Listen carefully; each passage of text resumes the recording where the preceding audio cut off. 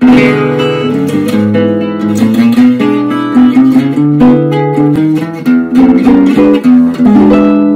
five E7 chords that you need to know to improve your playing. And here we go, let's start at the bottom. We've got She was just 17. I think we all know that one. But what Django did to make that really gnarly is bar that G, right, with the D. So you got the seventh and the sharp nine. Number two,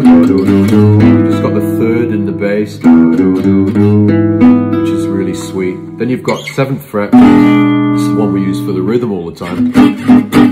Then you've got you've got the seventh in the bass with this one, which is really cool. D, B, E, G sharp. You've got progressions like and then the last one,